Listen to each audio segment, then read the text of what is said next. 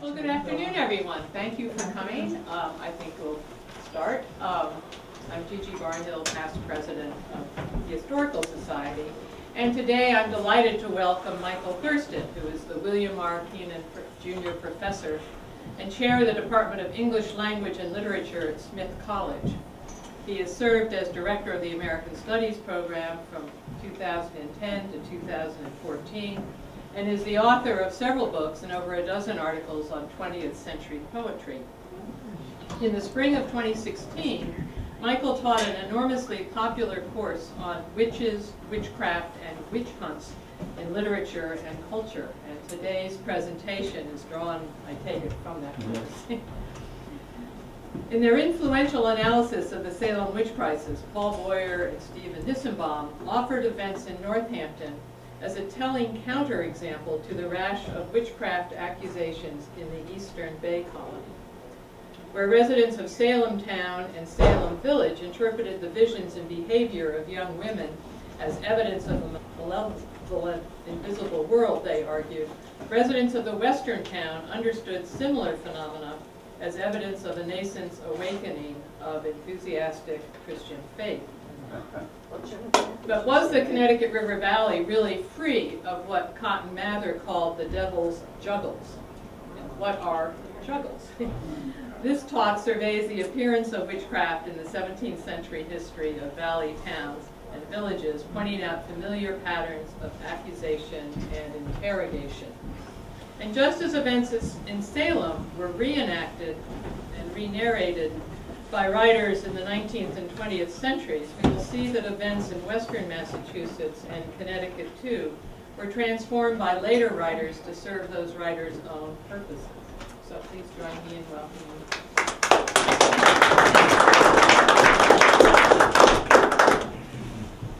Thanks, and thanks for coming out on uh, a beautiful day. It's warmer in here than it is out there, and I'm going to assume that that's why you're all here. Um, everybody knows about Salem, and so I'm going to say very little about Salem, uh, except that I think Boyer and Nissenbaum are absolutely wrong when they start talking about Western Massachusetts. Um, and it's because they do this uh, anachronistic sleight of hand. So Salem versus Northampton, uh, to make the point that they make that what turns into sort of community destroying paranoia in Salem is evidence of the Great Awakening in Northampton, also requires a fast forward of close to 100 years. So they're, com they're comparing uh, 18th century Northampton to late 17th century Salem, which is not a fair comparison. Uh, when you compare 17th century Salem and 17th century Connecticut Valley, the picture is really different. Uh, and in fact, and I'm, I'm going to come back to this at the end of the talk, the biggest witch panic in the New England colonies before Salem happens in Wethersfield, Connecticut. Oh. Uh, happens in Wethersfield, Connecticut in the 1660s for reasons I can try to suggest. Um, so we always think uh, Salem. The pattern that we're familiar with from Salem, uh, accusations typically focused on relatively powerless, marginal, single women, widows, or women who had never been married, women who didn't own property. Um, as the sort of acting out of some other sort of social strife or struggle. That's a pattern that I think applies as much to um, the Connecticut Valley as it does to Salem in the 1690s. And so we'll, we'll come back to that too. Juggles, so that I can gloss that term from the beginning, uh, comes from Cotton Mather's account of the demonic possession, he thinks, of a young woman in Boston named Mercy Short, uh, Mather is involved in something like the attempted exorcism of this demonic possession. And writes in his account, uh, I think the devil hath got in his juggles here. Uh, the devil is tricky. And this is one of the things that undergirds all of these New England assumptions about witches, and I'll come back to this later too, but the notion that the saints who had settled the New England colonies were constantly in battle, not only with enemies that they could see, natives here, for example, um, but also uh, with enemies they couldn't see. Mather writes about the wonders of the invisible world, in the sense that the saints, the Puritans, are embattled by the invisible world is what motivates a lot of these witch panics. I'm going to start with two close to home examples. Um, although I should have had that up when I was talking about witchcraft in Salem. This is what we're all familiar with.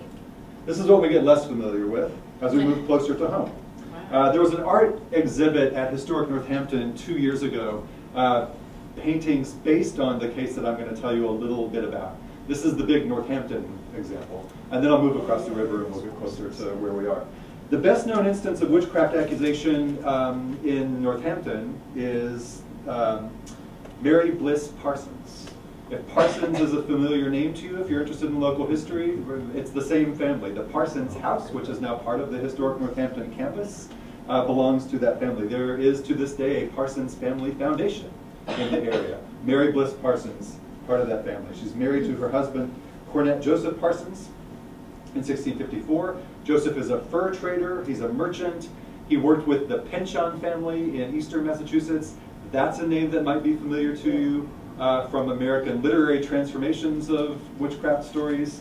Uh, Judge Pynchon is uh, the, the sort of uh, hanging judge type in Hawthorne's um, House of the Seven Gables.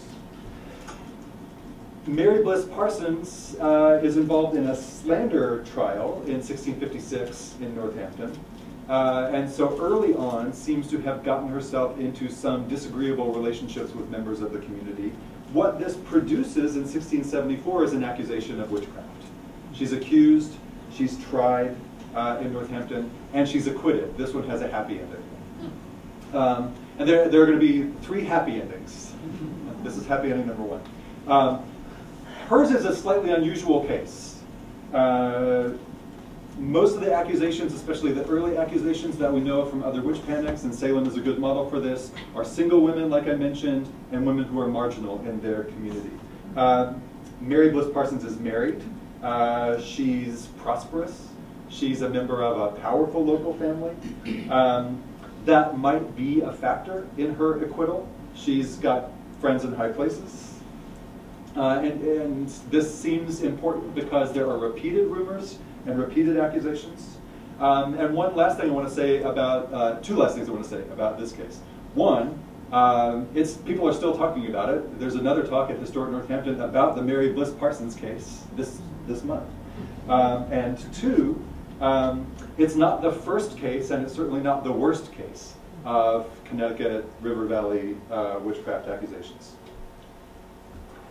One that has a um, much more complicated happy ending, but one that people also are still talking about, happens on this side of the river uh, about a half a generation later, and this is the case of Mary Reeve Webster, uh, more commonly and colloquially known as Half-Hanged Mary. Is anybody familiar with the story of Half-Hanged Mary? Um, if you know the, the folklore podcast Lore, there was an episode of the Lore podcast about Half-Hanged Mary. And if you're familiar with the Canadian author Margaret Atwood, um, Margaret Atwood uh, is a descendant of Mary Reeve Webster and, and wrote this poem, two parts of which I'll show you briefly, um, about these, uh, these events. Uh, Hadley doesn't come off very well in this story. Any Hadley citizens? I apologize. Um, the account is in Mather's Memorable Provinces. Sorry, Memorable Providences. It's like a tongue twister. Um, the trial actually happens in Northampton. Uh, and she's acquitted in the trial, but that is not where the story ends. Uh, it's the typical sort of thing. There are accusations that she levitated. There are accusations that she uh, stopped cattle carts with a word, that she made cattle go into the river. And remember, livestock are wealth. And to lose cattle into the Connecticut River in the 1680s is to lose your livelihood, or a big chunk of your livelihood. Uh, she's accused of overturning with a word a load of hay. According to Mather, um, she um, gets involved in a dispute with a deacon of the church and a member of the general court, a guy named Philip Smith. And um, she uh, bewitches him. She brings about, through some sort of spell or curse, an illness on him in, in January. And he cries out in delirium in what Mather describes as various language, complaining of pains and pins being stuck into him. That should sound familiar if you've read anything about Salem, right?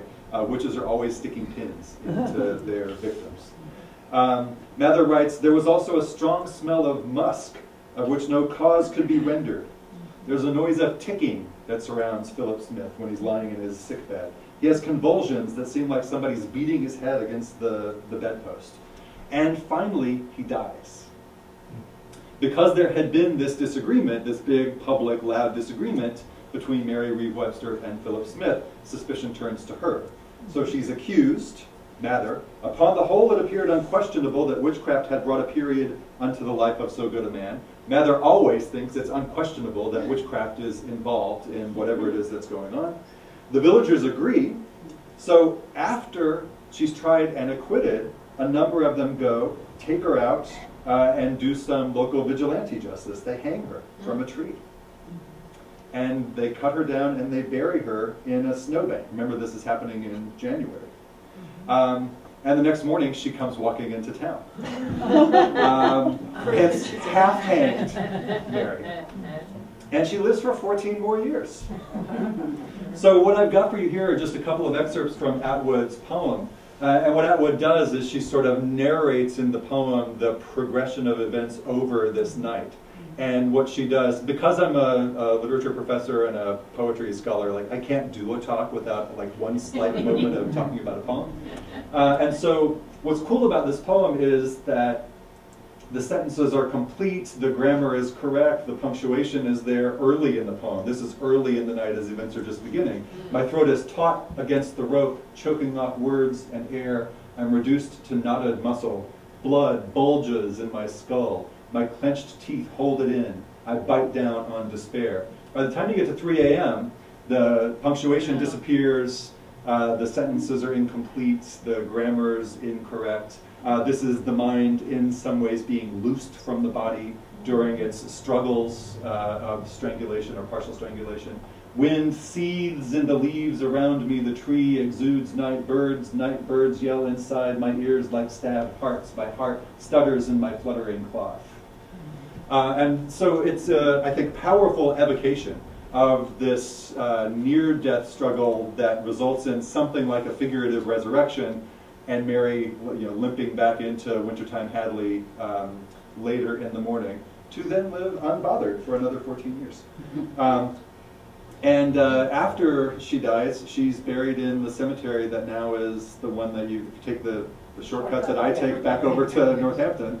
Uh, she's in that cemetery. I'm, I'm uh, I should say, indebted both to that lore podcast for turning me on to this story, uh, and to um, a UMass student a few years ago uh, who, uh, when I was teaching my course at Northampton, or at Smith, alerted me to the story, a young woman named Emily Kahn. So actually, the research here is hers. I'm um, trying not to steal it by giving her due credit.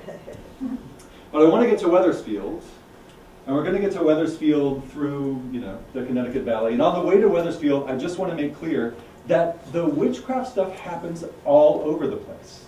So it's up here above the map in Northampton and Hadley. Um, and it's down where I'm going to send us for most of the rest of this talk in Hartford and Wethersfield. But there are accusations in the colony down around New Haven. Um, there's accusations in Saybrook, uh, in um, uh, Bridgeport, in all kinds of towns that are down along the coast. Uh, in fact, one of those accusations uh, that led to uh, an execution is of a woman named Goody Bassett. Uh, this is in Bridgeport, and there is, a, this stuff lingers right into the present day. There is, to this day, uh, an ice cream shop in Bridgeport um, called Goody Bassett's Old Fashioned Ice Cream Shop. Uh, you know it's old fashioned because it's uh, shoppy with me.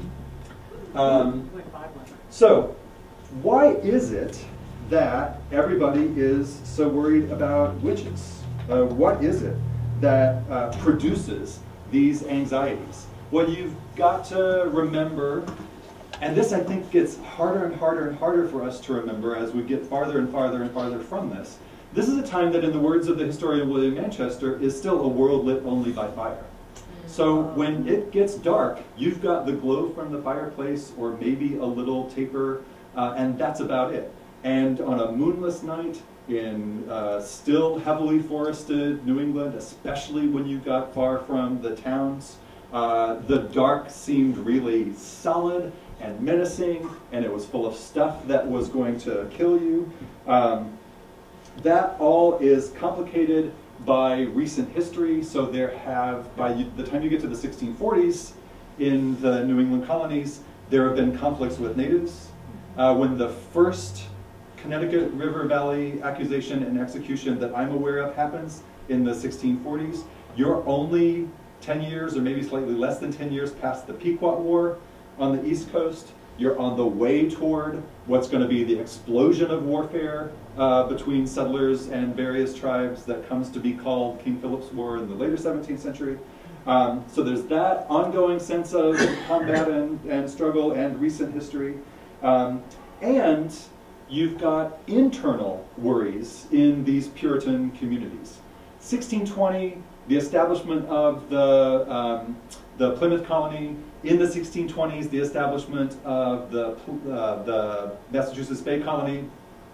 You've got this sense that we, the saints, the dissident separatists who have left England, are here, and we are establishing what John Winthrop calls a city on a hill. Within 15, 20 years, William Bradford, the governor of the Plymouth colony, is writing in his history of the colony about the disintegration and the dissolution of the purity of that community as both a second generation uh, is growing up in that community and hasn't yet had the testified experience of the presence of the divine that gives them full membership in the church and full membership because this is a theocracy. Full membership in the church also means full citizenship. So you have a bunch of people who are in but not completely of the community. And you've got a bunch of indentured servants and others. You've got merchants and others who have come there who don't share the Puritans' beliefs, but are there either out of necessity or to make money. You've got transported criminals right, who are part of the community. So there's a lot of anxiety starting in the 1640s about how we are falling apart as God's chosen people. When the English Revolution that results in the execution of Charles I and the Puritan rule of England uh, for about 15 years, when that ends and there's the reestablishment of uh, monarchy in England, that's seen as a big setback to the forces of uh, the people who thought they were the chosen people. All of these, I think, produce anxieties that then require the, the nomination and the handling of a scapegoat figure. Out of all these anxieties, and I'm giving you all this background because I think it matters for Wethersfield. Out of all these anxieties, you get the sort of thing that happens in Wethersfield. To make it more specific, to get down to there, why Hartford and Wethersfield in the early 1660s? the early, early 1660s, you have the dissolution of the community that Bradford has been worried about for 20 years. Bradford's no longer around, but he starts worrying about it in the 1640s. You've got um, difficulties over um, attempts like we have coming out of Northampton later in the 17th century attempts to grant citizenship and membership of the church community to people who haven't had that testified experience of the presence of the divine. This is the halfway covenant, if you're familiar with that. I'm not going to get into the halfway covenant. We can talk about it later if you like.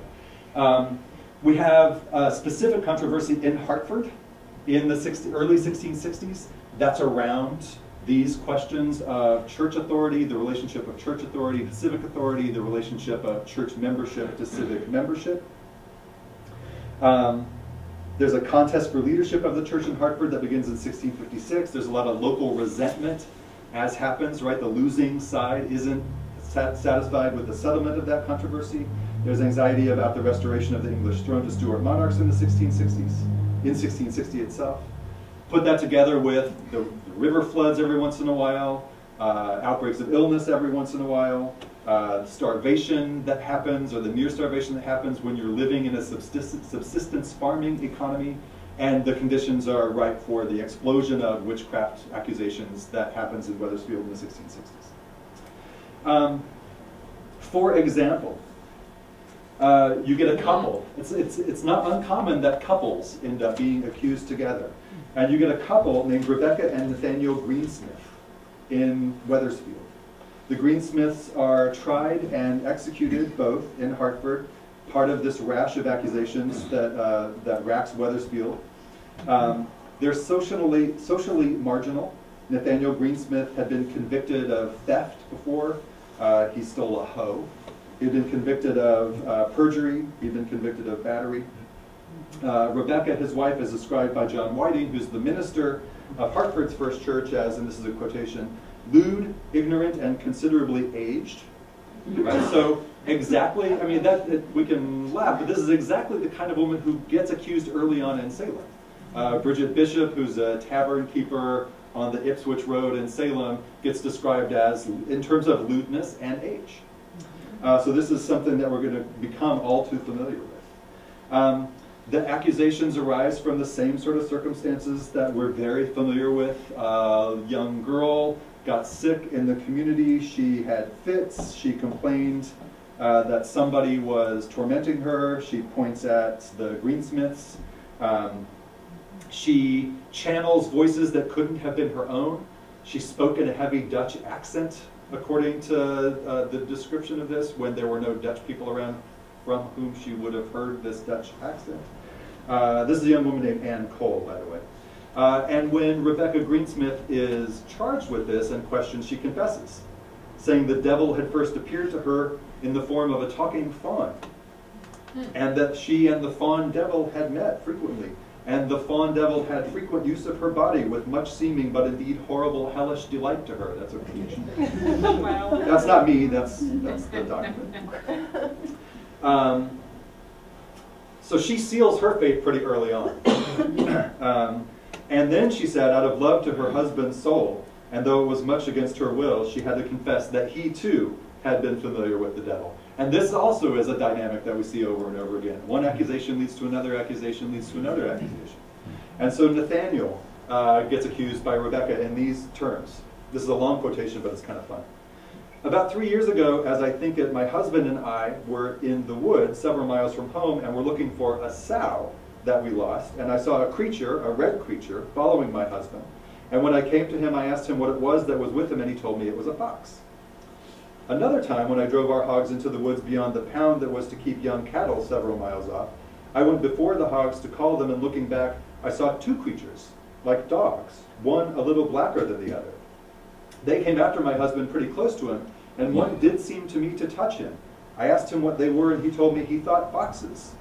I was still afraid when I saw anything because I heard so much of him before I married him. So he's got a bad reputation, right? Theft, perjury, battery. Um, I have seen logs that my husband hath brought home in his cart that I wondered at it that he could get them into the cart, being a man of little body and weak to my apprehension. And the logs were such that I thought two men such as he could not have done it. So uh, if you're a weakling but you have feats of strength, right, that's grounds for accusation. And if you remember George Burroughs uh, in Salem, George Burroughs, who was a minister, who had been a minister in a community on what's now the Maine coast along Casco Bay, uh, that's part of the accusation of Burroughs. He's, he's too strong. Uh, and in fact, the same sort of evidence, too, too strong because he can throw logs around. Um, the greensmiths end up uh, spreading this web of accusation. So eight more accusations uh, that lead to trial in 1662 alone.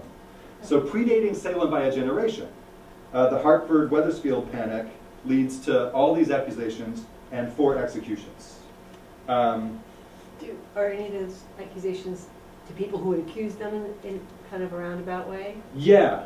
Uh, so somebody gets accused by Rebecca Greensmith and then says, well, yeah, but Rebecca Greensmith was, as she just told you, part of this witches' Sabbath that happened on Christmas. Uh, and uh, yeah, there is that community turning against itself and everybody turning against each other.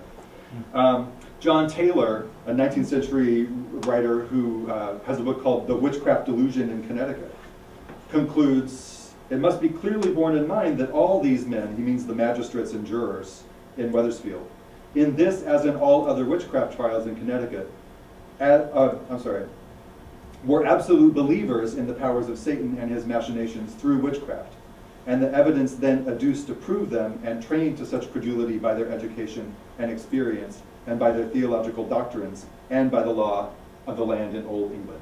So it's worth remembering that um, these are people who still think of themselves as English people, uh, the English king at the turn of the 17th century, um, uh, King James I, who had been King James VI of Scotland, writes a book about witches and witchcraft, believes completely in witches and witchcraft. There are witch panics in rural England, uh, especially in rural northern England, throughout the 17th century. And these people are familiar with that. Put that together with the puritanical belief that you're at war with an invisible kingdom, and of course, when stuff starts to go badly, you're going to turn to this notion of witchcraft. I want to end, by the way, we can go back and talk about any of the stuff you want, um, but I, I want to get to my favorite story, um, because this one is the especially fun one. I want to end with one more happy ending. The Greensmiths, not so happy. uh, for uh, two other executions in the um, Hartford, Wethersfield area. A lot of those uh, southern coastal or accusations that I mentioned lead to executions. And that string of accusations that uh, we see happening in Hartford and Wethersfield happens down in Bridgeport as well. Um, I always want to point at the screen, but uh, that's not going to do good. My favorite in Wethersfield is a woman named Catherine Harrison. Uh, and Harrison's case loops us back to Mary Bliss Parsons in some ways. It's kind of similar. Um, she's pretty well off. She's not a marginal person. Um, she had inherited a good deal of wealth upon her husband's death, though, and so she's well off, but that sense that maybe she got it in some, uh, you know, uh, malevolent way is something that is cause for suspicion. Suddenness with which she comes by her wealth provokes some resentment in the community. She, more importantly, had a history, this is also like, um, like Mary Bliss Parsons, a history of litigious relationships with her neighbors, some suing and some countersuing. Um, she gets acquitted. I'll give the happy ending away uh, in advance. And I think that happy ending um, is why when we get into the 1950s and Elizabeth George Speare writes a book called The Witch of Blackbird Pond, which is set around Wethersfield, Connecticut, things end happily for the accused witch figure there. Uh, I'm going to come back to the Witch of Blackbird Pond in a minute, but I think the happy ending of the Mary Harrison case, um, Sir Catherine Harrison case, is part of why Speare is able to imagine a happy ending. Um, unlike Parsons, um, Harrison practiced folk medicine with herbs and plants, and this might be part of what's behind the witchcraft charges. Her case went on for two years. There are more than 30 witnesses who testify against her. Um, and this long duration of the trial probably saved her life. Because it enabled the magistrate, John Winthrop, not the same John Winthrop who was the governor of the Massachusetts Bay Colony, but related, uh, who, had, who was away when the trial began, gave him time to get back. And when he gets back, he makes an important change in witchcraft law that is the significance of the Harrison case. First trial uh, ends with no verdict. The second trial um, gives us a bunch more testimony, and this is the one that the historian John Taylor uh, waxes enraged about in his account of what he calls the witchcraft delusions in Connecticut. He calls it drivel, the travesties of common sense, the mockeries of truth, which fell from the lips of the witnesses. For example, a guy named Thomas Bracey blames Catherine Harrison for his repeated failures properly to sew a jacket. he kept getting the sleeves wrong and had to keep ripping them apart, and it was her fault. I'm not making any of this up. Richard Montague says he encountered Harrison, and she told him that a swarm of her bees had flown over a neighbor's lot and into a meadow and finally across the river, but she had fetched them back again. And he said, This seems strange and unlikely and impossible, and so there could have been no lawful means for her to do so. She must be a witch. Jacob Johnson's wife claimed that Harrison was responsible for her nosebleed. Mary Hale woke up one November night after hearing a noise and found a creature had fallen upon her legs, quote, with such violence that she feared it would have broken her legs, and then it came upon her stomach and oppressed her, so as if it would have pressed the breath out of her body. And this ugly shaped thing, like a dog, had a head that Hale, quote, clearly and distinctly knew to be the head of Catherine Harris, who was at that time in prison, so it had to be a spectral appearance. The depositions go on and on like this. And what's great is the documents give us Harrison's rejoinders as well as the accusations. And she's fantastic. I want somebody to make like a movie about the trial of Catherine Harrison. Because, for example, when Mary Hale says, I woke up on this November night and there was a dog-shaped thing on my chest and I knew that the face was the face of Catherine Harrison, she says, to Mary Hale's testimony, I say there is no truth in it so far as I am mentioned in it, and I desire it may be considered how any person can affirm that by a small firelight, they can clearly and distinctly know my head on a dog. I know not the meaning of these things. Besides, and here's the really good part, I cannot but look at it as an accusation against me, and I do not know that I ever was in that house but once, and that was when I went to demand a debt due to me. Right, so Harrison is getting at the real reason for this accusation is because these people owe me money. This goes back and forth for a while. It gives Winthrop an opportunity to get back to town, and the great thing about when Winthrop gets back to town is he says, wait a minute, wait a minute, wait a minute.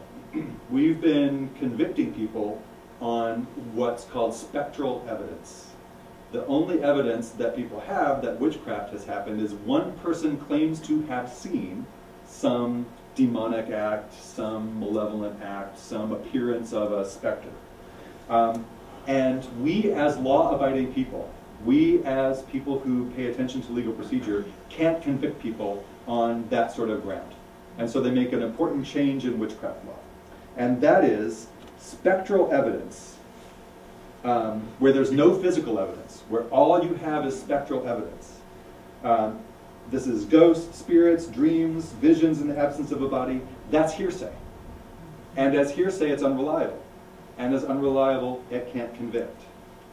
Uh, and so a bunch of them get together and they say we've got to rewrite the law so that convictions aren't possible on the basis simply of spectral evidence, which is hearsay. A guy named Gershom Bulkley, who is an important reverend in the community, uh, writes, if proof of the fact do depend wholly up, upon testimony, then there is a necessity of plurality of witnesses to testify to one and the same individual fact. And without such plurality, there can be no legal evidence of it. So Gershom Bulkley, the local minister, with Winthrop, rewrites the witchcraft trial law to require corroboration. Mm-hmm. If you're depending on spectral evidence, two people have to have witnessed the same spectral occurrence in order to convict. Two things I want to say about this. One, this doesn't help anybody in Salem. Because, and this is the law by the time we get to Salem, because the accusers all corroborate each other, right? All the young women who uh, originate the accusations um, back each other up. I saw that too. That's all it takes to get uh, 20 odd people hanged in Salem. Uh, number two, Elizabeth George Speare in The Witch of Blackbird Pond makes Gershom Bulkley a character. He, at the end, um, it, it's a weird historical sleight of hand she does. She sets it more uh, close to Salem than to the events in Wethersfield. Uh, so you get no mention of the fact that there are actually witchcraft accusations and executions in Wethersfield. But we're in Wethersfield. There's a local woman who kind of like Mary Harrison, I keep calling her Mary, kind of like Catherine Harrison, um, does folk medicine right, with herbs and things like this. She's the titular witch. She's the one who gets accused, along with the young woman who is the, the heroine of the novel. Um, they get saved by the benign presence of Gershom Bulkley, who is working not only as the local minister, but as the magistrate, uh, who is the voice of reason. And this, I think, is Elizabeth George Speare writing for a young audience in the late 1950s, that the anti-crucible. Arthur Miller looks back at Salem in the midst of the McCarthyite anti-communist inquisition of the 1950s and says, yup, that's us. This is what we do. We make accusations that have no foundation, and we destroy people's lives and reputations. Elizabeth George Speare is saying, what is us is the voice of the grown-up who comes in to this uh, world of accusation and reinforces the rule of law, requires actual civil procedure, calms everybody down. And this is what I think she and the Newbery Committee that gives that novel the Newbery Award um, think is socially necessary for young audiences at that moment. Mm-hmm. That our past as a nation with witchcraft can mean multiple things and gets mm-hmm. deployed to mean different things at different moments in our history or different competing things at the same moment in our history. Mm-hmm. Um, but Wethersfield, just like Salem, lives on in the cultural memory. Salem via Arthur Miller and the movie that's made of The Crucible, the continuing productions of The Crucible. If you haven't seen the YouTube clip of The Crucible uh, with Ted Cruz when he was a student at Harvard, I highly recommend looking that one up. Um, but also the history of Wethersfield via Elizabeth George Speare and a book like The Witch of Blackbird Pond. And I'm going to stop there. Wow.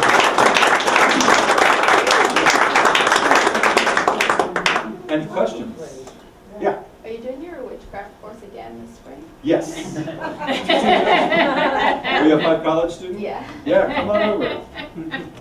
Uh, and most of this was not in that one because I learned about it since then. So.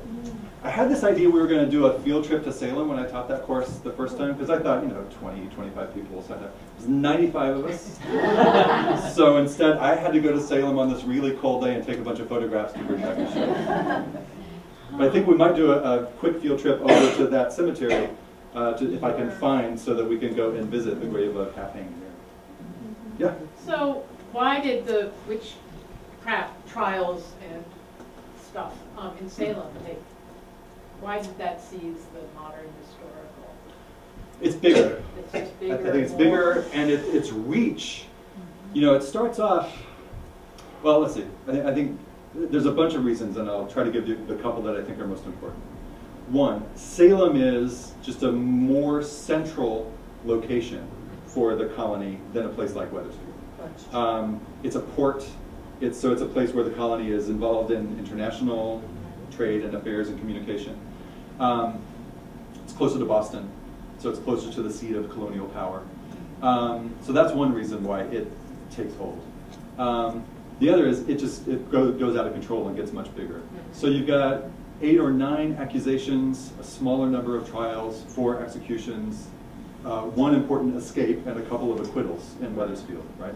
Um, in Salem, 20 odd executions, over a hundred who were accused and imprisoned at some point, and more than that, by the time it all ends and what maybe brings it to an end, is the accusations are flying fast and furious, not only between Salem Town and Salem Village, um, but down to Boston. So they start accusing people like the wife of the colonial governor and saying, I saw the wife of the colonial governor who flew from Boston on her broomstick to attend a witches' Sabbath in Salem. And at that point, the colonial government is like, we are shutting this down. It's okay, I mean, it's not okay with it necessarily, but the colonial government before that is like, you guys take care of it. And Mather goes and, you know, thinks he can uh, bring some sort of reason to it, but Mather is also a true believer in witchcraft. Right. Um, and Hale goes and thinks he can bring some, you know, some reason there. Uh, and it's just crazy times in Salem. And I think it's crazy times. Boyer and Nissenbaum's argument is that it's it's economically fueled. It's it's the town versus the village. It's the farming community versus the port. The port is where all the money and the power are. There's real resentment by the farming community, and a lot of the accusations. They they have this great map in the book uh, where they plot a lot of the accusations as coming from one side of the boundary, just over at targets on the other side of the boundary.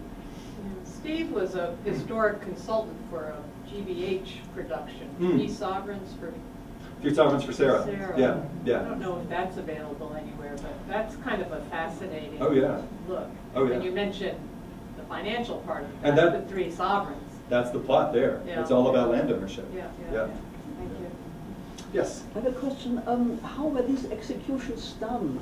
Now, um, I heard, I come from Europe, I'm a visitor here, that um, most witches were burned at the stake. Did this happen in Salem and in other places too? Hangings. Or hanging? And was it a Hangings. public entertainment? Was it public? Did people come and look on them? They were public, Yeah. yeah.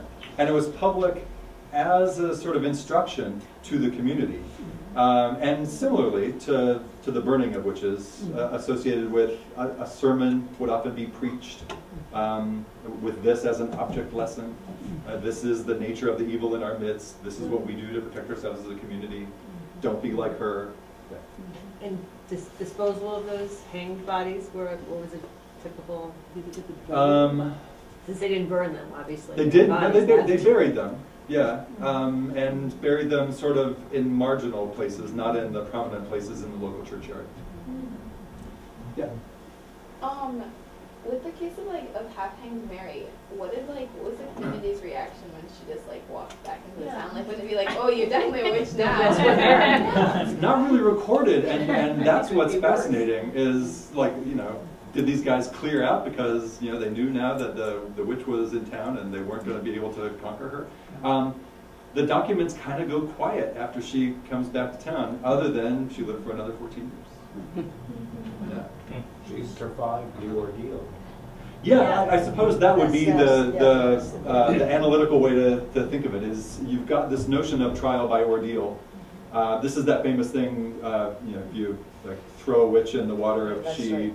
Floats, she's a witch, if she drowns, she was probably innocent, and, uh, and in this case, she, sur- by surviving the hanging, she survives the fallible judgment of the community and demonstrates her innocence. Yeah. Although uh, the documents don't say that, but I think that's the right reading of the community's response. That's a much older tradition, but. Yeah, yeah. Yes. That was my question, but I also, how does this compare to um, the witches in Europe at an earlier time? Mhm.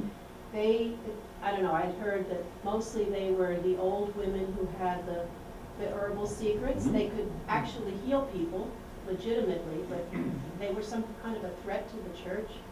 And that's why they were burned, or, this seems like a very different thing than what happened here in New England.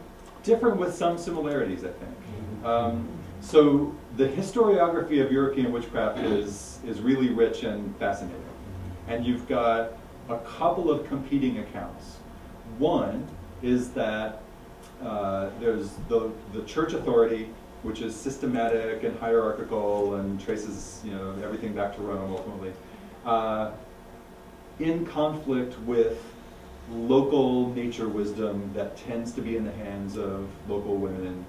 And that is seen as an affront to the, the hierarchical order of the church and has to be, especially during the Inquisition, uh, has to be extirpated as heretical. You also, you have an account, I'm blanking on the name of the woman in the 1920s who, who publishes a really briefly influential book um, that takes that those local communities of women with natural herbal sorts of knowledge and folk medicine and turns them into a whole sort of competing um, institution.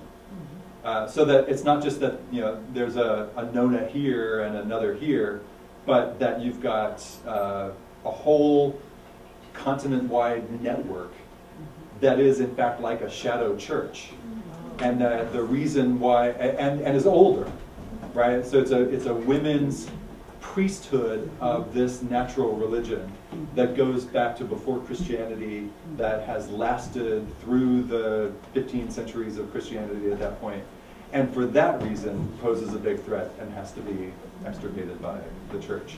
That gets pretty quickly discredited, but it's really popular. Um,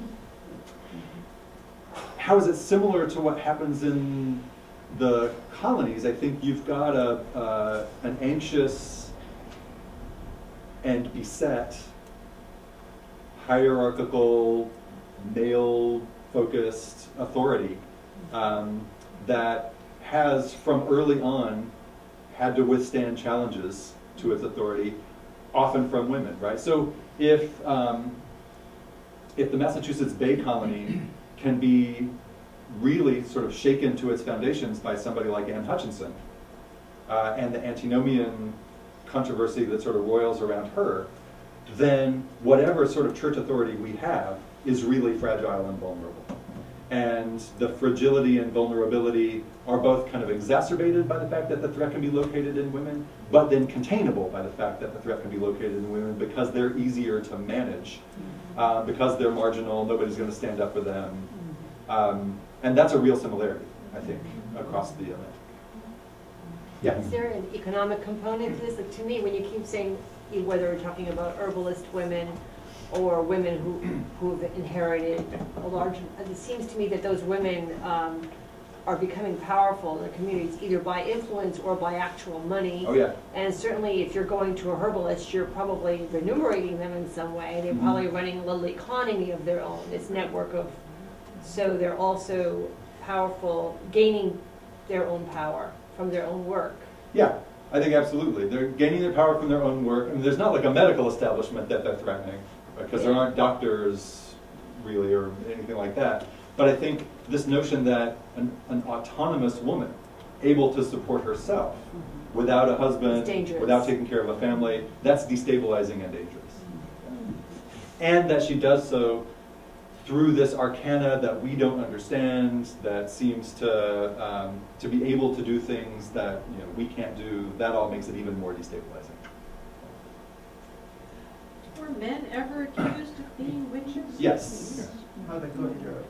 Uh, how did the accusations of men Were go there in many Europe? men accused in Europe? Not many, but it happens. And what usually um, happens is, I, I mentioned couples, right? So the greensmiths. right, yeah, Mr. Or the proctors Yeah, yeah. in Salem. Uh, the men usually get dragged in as trailing spouses. And so you have whole family executions, uh, which is in Europe. That doesn't happen anywhere that we've found in the colonies. Um, but there's a, a, a great book about 30 years ago called High Road to the Stake uh, that follows a specific, think it's maybe in what's now the, no, it's not the Netherlands, it's some German principality. And there's this witchcraft accusation and trial that ends up encompassing a whole family, mother, mother, father, and a couple of children who are tortured and finally executed. Oh, yeah. I think the difference between Boston, Salem, and Plymouth uh, is that Bradford and, and other officials in Plymouth, from the very beginning, had to deal with the Billington family. Mm-hmm. So here was, here was this family of drunkards, uh, Reprobates. reprobates, Yeah. first murderer in the colonies, but they were the ones who survived that first winter, Mhm. like no other family in Plymouth. So- Only the good die young. So, so they had this, this unsaintly element Mhm. right from the beginning that had a vigor of its own, Mhm. and it survived. And they had to manage it. And they had to manage, it. they needed those secular people who had crafts, skills that they could not do without. They also were fortunate in the, the appearance of a sort of unifying external enemy in, in the shape of Thomas Morton. Um, so, so Plymouth both has its internal uh, dissenters that they find ways to manage without killing them, right? Because they need every living body to continue living. And they have Morton, who is, um, you know, I, actually kind of a hero of mine, but uh, he's, he's an unscrupulous trader who wants to make money in this new English Canaan, and he's willing to buy off the natives, and he's the one who sets up a maypole uh, and, and teaches the natives to dance around it, and uh, the pilgrims have to go and chop down the maypole and imprison Morton. Um, but they can, but that brings them all together because they have him as the, the external enemy. He's also a defrocked Anglican priest, right? So he, he represents everything they hate. But Plymouth already has Atherton. Yeah, yeah. Um, Plymouth is, is lucky that there's a lot that keeps them sort of together and internally focused. Um, it's also another 50 years go by before Salem, right? So everything has gotten big and prosperous, and and the communities are big enough now to turn against each other. Yeah, What about in Canada or French Canadian communities? Anything like that? I don't know. my, my, my expertise ends at the Canadian border. Um, you know, that, it's a good question. I don't know. Uh, my suspicion is probably unlikely to have a whole lot of it because um, those are communities that are really built on trade and uh, their motives for settlement from the beginning are different from those in the New England colonies. And so they don't have this we are saints and chosen people thing to get all anxious and upset about. Right? We're just, we want to kill as many beavers as we possibly can. Yeah, and witchcraft has nothing to do with it. I think. Yeah. Oh, pretty Catholic. Yeah. Might I ask a question about about midwives? Now, um, in Europe, they said that many women who were midwives, Mhm. of course, in those days, uh, birth was given uh, with the help of a midwife rather Mhm. than a doctor. But uh, then um, the the uh, importance of um, assuming that all the medical power was in the hands of men created another possible reason for declaring a woman a witch because she was a, a, a gifted midwife Mhm. who also probably knew by her herbal knowledge how to do abortions, Mhm. which and also which was a, a great sin. And, probably needed people. I don't know what you couldn't do. Uh, Carlo Ginzburg links midwifery to the witchcraft accusations in Europe. Yeah. Um, one of the accused women in Salem may have um, done some midwifery in that community. That seems to be about it. It doesn't seem to be the same sort of factor in the colonial accusations that, that Ginzburg at least argues it is in a lot of the European ones. Yes. Well, thank you ever so much. Absolutely.